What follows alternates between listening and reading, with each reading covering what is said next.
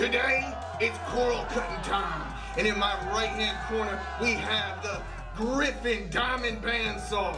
And in my left hand corner, we have the Inland Diamond Bandsaw. And we're gonna see if they have what it takes to cut coral.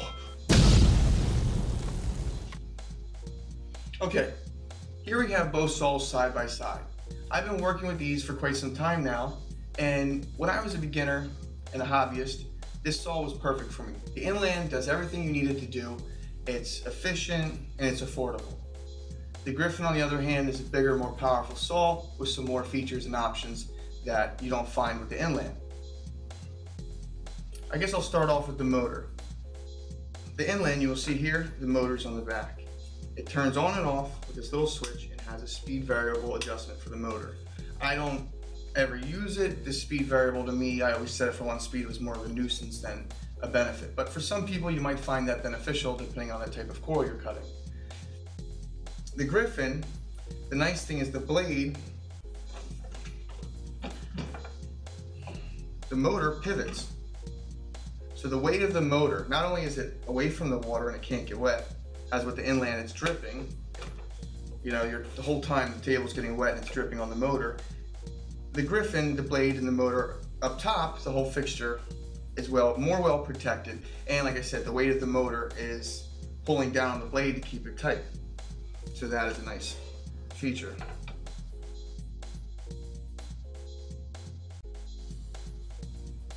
Since they're both wet saws, the water in the inland is contained in the back behind the pulley. And there's an adjustment screw here to adjust the flow to how fast it falls down on the blade. Now, the inland will collect some water inside and you can put a little hose here to a bucket or something that will allow you to drain all the the dirty salt water, I guess with all the shavings of the ground up coral out through the tube.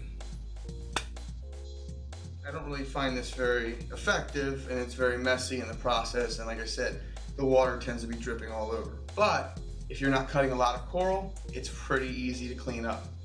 On the other hand, if you're cutting a lot of coral, the water is contained right underneath the gryphon's table. And it has holes all on the table.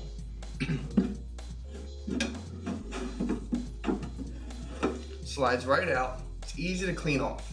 It's amazing. I find this feature one of my favorites.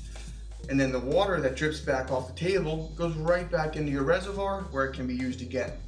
So less mess and it recycles better. And there's a spout in the end for pouring in water and for pouring it out.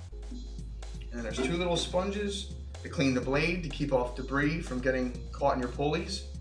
And they're replaceable, which is easy. You could just take a regular dish sponge and cut it up into the size and then put it in there. And there's also one behind the blade on this side too, which is very nice.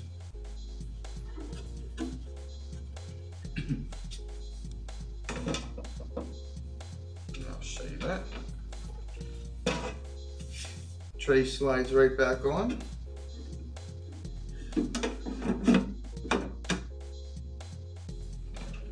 Okay. Now the tray on the inland doesn't slide off that easy. It's bolted on with nylon screws.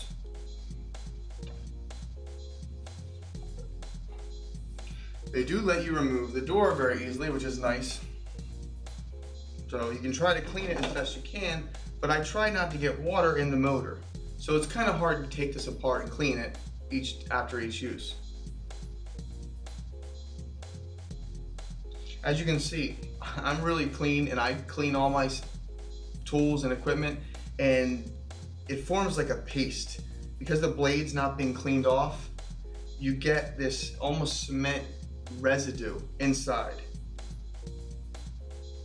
And it's hard to keep clean. But like I said, average weekend hobbyist is perfect. I just started cutting a ton of coral and tried to use a little salt. It's not the right equipment for the job. That was just wrong of me. So I'm gonna retire this saw and I moved on to the Gryphon. Good morning, reefers. It is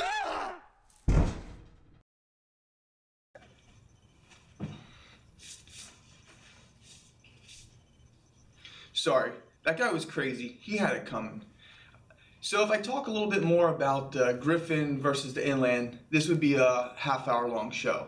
So I put some more specific details in another video and you can check into either saw depending on what you're more interested in. So thanks for watching. Enjoy the rest of your day. Until next time, happy reefing.